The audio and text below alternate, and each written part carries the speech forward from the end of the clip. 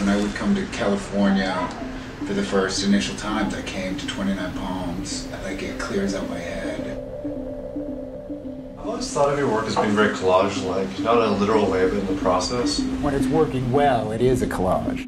Language, image, decoration somehow, like position, installation. You're kind of taking diverse elements that you find, scavenge, or capture as images, and you're kind of creating this friction to create a, a feeling of something that's happened or will happen. Detritus from mm-hmm. like an especially good event. I like it to look Yeah. theatrical and like a set or like what just happened here or what, what might happen here.